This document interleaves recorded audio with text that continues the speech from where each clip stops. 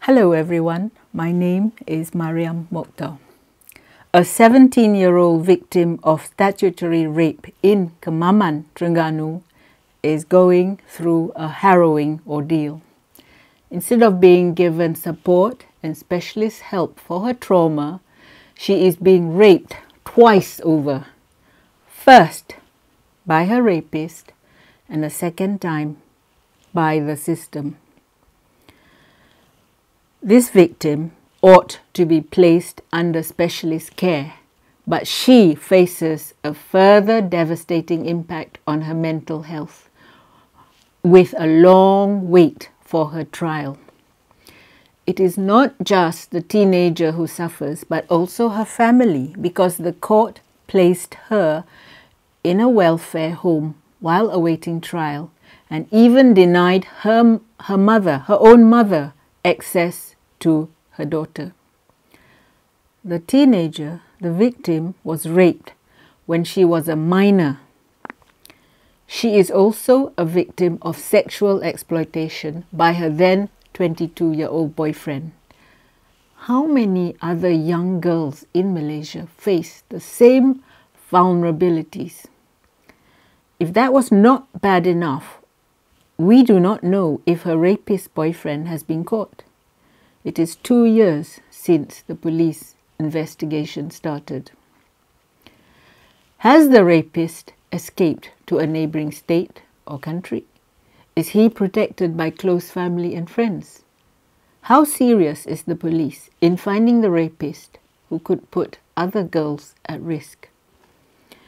In 2022, two years ago, the 15 year old victim of rape was denied bail for stabbing her newborn baby to death with a sharp object on the 8th of February in her own home at Felcra Sri Bandi in Chukai in Kemaman. She was held in remand for seven days as part of the police investigation and I think on 15th February the magistrates court in Kemaman charged her with murder.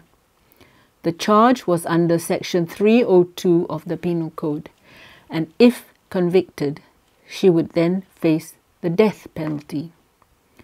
She was denied bail by the magistrate, Tengku Eliana Kamaruzaman, because Malaysian law stipulates that Section 302 is a non bailable offence and bail could only be granted at the discretion of the court.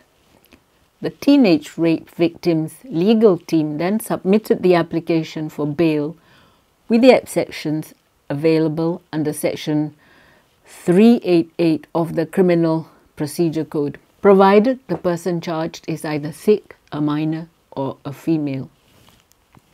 The Court of Appeal allowed her to be released on bail two months later. This was in May 2022.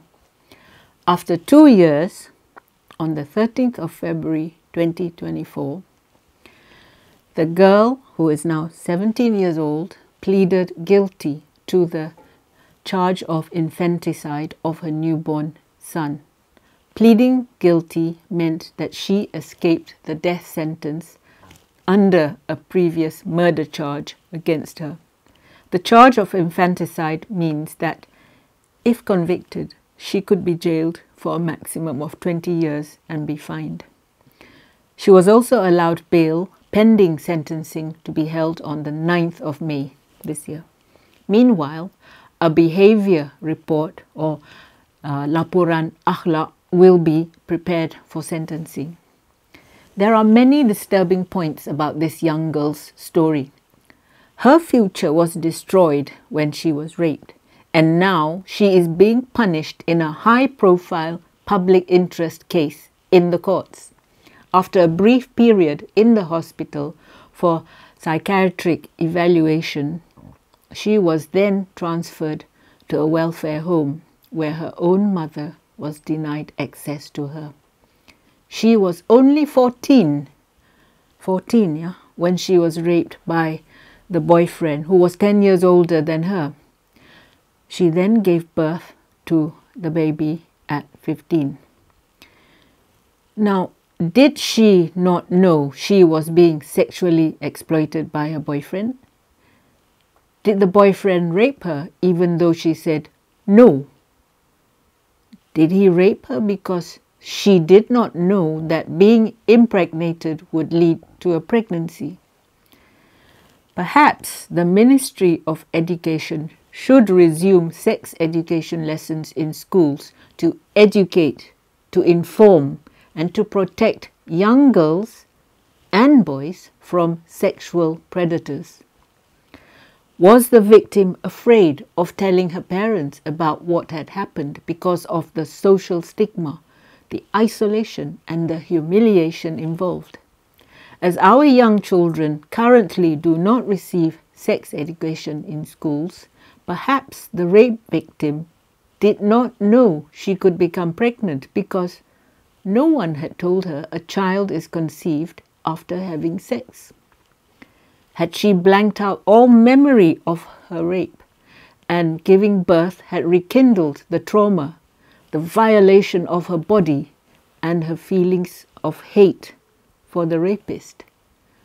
Could all these have triggered the stabbing incident? To deny the victim access to her own mother is very cruel. Only her own family members know her best. The welfare home is no substitute for her mother's love or for her family's support. When will ministers take the time and trouble to understand the meaning of statutory rape? Are they aware, are the ministers aware of the mental and physical trauma suffered by the victim and her family?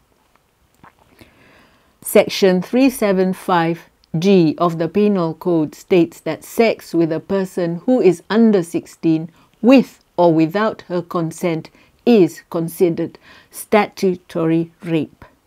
The victim of rape who brings up her child probably knows that without education or skills, she is condemned to a bleak future.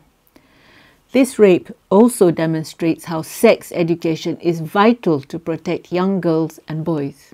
And contrary to the opinions of some people, sex education is not about how to have free sex. Sex education discusses the dangers of having sex at an early age, the consequences of having unprotected sex, how to say no and how to avoid peer pressure, and most important of all, the importance of stable, loving relationships. This teenager is a victim and needs support, not jail time. Thank you for listening. Speak to you soon. If you like my videos, please press like and subscribe to my YouTube channel. Please also visit my Patreon channel if you wish to sponsor me. Thank you.